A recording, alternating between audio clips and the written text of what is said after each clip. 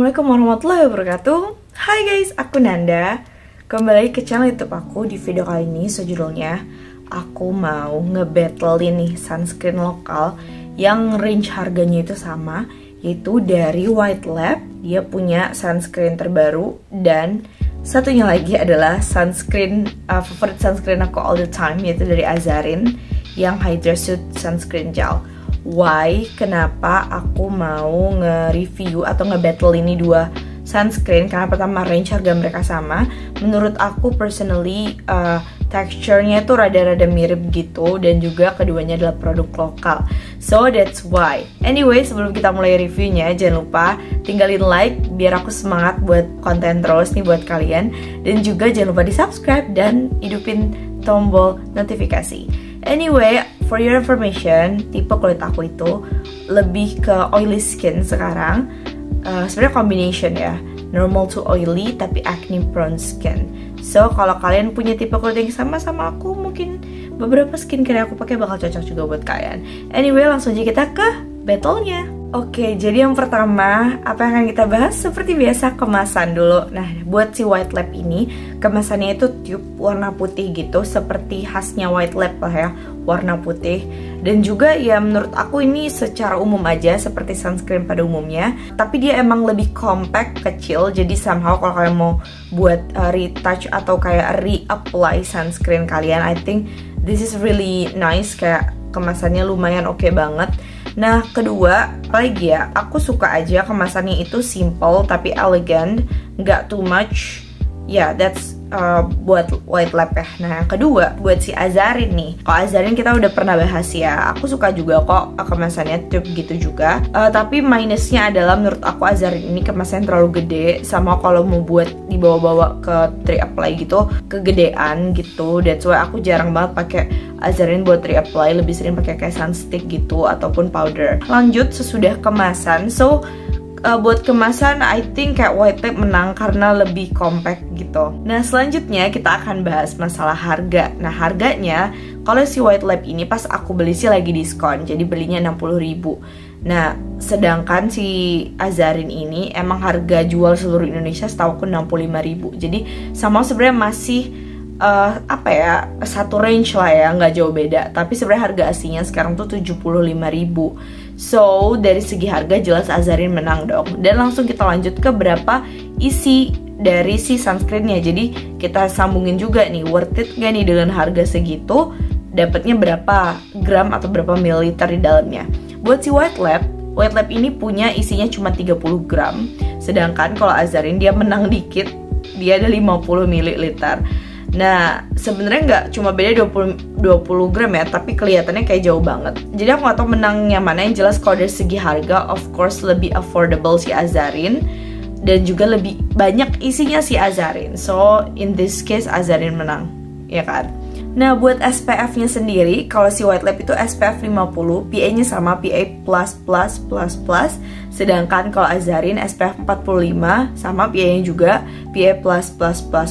Bedanya cuma dikit ya, lagian juga kalau yang aku pernah baca gitu, uh, sunscreen itu sebenarnya SPF 30 tuh udah sangat efektif, yang penting pemakaiannya dengan jumlah yang tepat, diaplikasikan dengan tepat dan juga di reapply setiap 2 sampai 3 jam setahu aku gitu.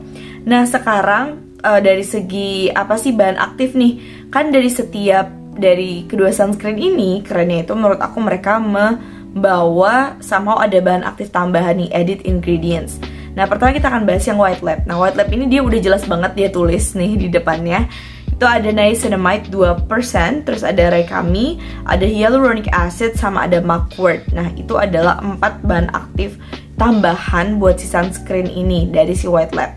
Sedangkan kalau dari Azarin dia juga nulis nih beberapa sebenarnya bahan aktif tapi nggak dia cantumkan di dalam uh, di tube-nya ya, tapi dia tuh ada kayak di kotaknya gitu. Kalau buat si Azarin ini dia itu ada juga niacinamide-nya, ada hyaluronic acid juga, nggak salah ada propolis gitu. Nah kalau kedua ini dari segi edit ingredients keduanya menurut aku kurang lebih sama ya. Hero ingredientsnya itu niacinamide sama hyaluronic acid. Bedanya aku nggak tahu ada berapa persen niacinamide di Azarin sedangkan White Lab ini mengklaim bahwa ada 2% niacinamide di dalamnya. I think kedua dari sunscreen ini bagus. Kalau kalian males skincarean dan cuma mau pakai sunscreen aja di pagi hari dia akan kasih benefit buat nge-moisturize kulit kamu dan juga ngebantu buat ngilangin noda hitam bekas jerawat dan lain-lainnya kayak ya fungsi niacinamide sama hyaluronicnya Selanjutnya, keduanya itu juga non-alkohol. Nah, ini salah satu highlighted banget kalau Azarin dia tulis banget kayak 0% alkohol, 0% silikon. Nah, kedua ini juga sama-sama tipe chemical sunscreen. That's why keduanya itu tidak ada white cast gitu loh. Jadi dia emang feelnya itu lebih ringan daripada jelas physical kan dia lebih ada kayak white castnya gitu. Nah, anyway, keduanya punya tekstur yang kelihatannya mirip banget menurut aku. Bedanya si Azan tuh kayak lebih transparent, kalau ini yang kayak lebih putih tapi somehow feel-nya sama gel. Dan ketika di blend, keduanya ini honestly menurut aku sama-sama mudah banget di blend. Bedanya kalau Azarin feel afternya dia itu lebih kayak pakai moisturizer dan lebih ringan Sedangkan kalau white lab feelnya itu lebih jauh lebih melembabkan banget. Jadi kayak kalau pakai Azarin aku biasanya masih pakai moisturizer. Kalau pakai white lab aku nggak butuh moisturizer. Nah sekarang di wajah aku sebenarnya aku tuh pakai si white lab ini dan nggak aku set. Jadi kayak gini emang uh, ininya ya uh, finishnya itu kayak gini. Jadi dia sebenarnya masih glowy finish gitu tapi nggak too glowy. Jadi menurut aku enough aja. Tapi kalau kalian mau set I think it's better karena beberapa dari kita tuh lebih nyaman ketika lihat kulit kita nggak minyakan gitu kan, tapi agak lebih matte gitu.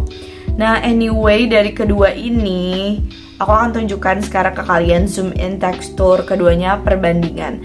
Nah, kalian bisa lihat juga ya di uh, layar sekarang bahwa emang mirip banget keduanya itu. That's why menurut aku keduanya itu sama-sama worth it to buy and worth it to try. Apalagi kalau kalian belum pernah nih nyoba si Azarin give this a try. Kalau kamu udah pernah nyoba Azarin, dan give White Lab a try too.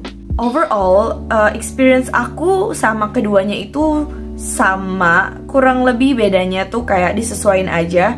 Ada hari di mana kulit aku tuh kering banget, I think I will choose White Lab over Azarin. Tapi ketika hari itu kulit aku emang ya biasa-biasa aja gitu kan aku emang oily ya basisnya, aku akan choose Azarin over White Lab.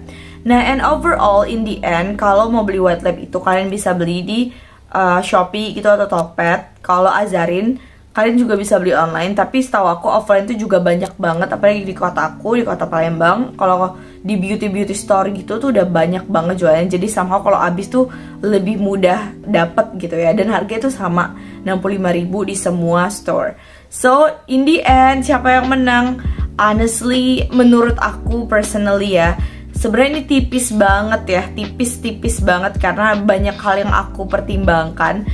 Indian aku masih milih Azarin over White Lab, tapi tapi again ya, sumpah tipis banget. Karena gini, kalau Azarin tuh di hati aku tuh udah 5 per 5 Sedangkan White Lab ini masih 4,7 per 5 Karena ada beberapa part yang kayak dia lebih cenderung lebih melembabkan Sedangkan emang tipe kulit aku tuh oily dan kedua dia juga sebenarnya kalau dihitung-hitung tuh lebih worth it si Azarin karena isinya 50 gram dan harga lebih murah sedangkan dia ini isinya 30 gram dan harganya agak lebih mahal 10 ribu dari si Azarin that's why Oke, okay, thank you so much. I think that's all about today's video. Aku cuma mau bilang makasih banget kalian udah nonton sampai akhir dan udah pantengin. By the way, jangan lupa tinggalin like, comment, subscribe dan share ini ke teman-teman kalian yang bingung nih mau beli Azarin atau White Lab ya. Anyway, ini personally adalah opini aku yang cocok di aku belum tentu cocok di kalian dan sebaliknya. So thank you so much for watching. Kalau kalian mau beli White Lab atau Azarin akan aku taruh linknya di bawah kalau aja kalian mau uh, ke Shopee atau Tokped gitu mau belanja online. So thank you so much. I'll see you guys on my next video. Bye guys.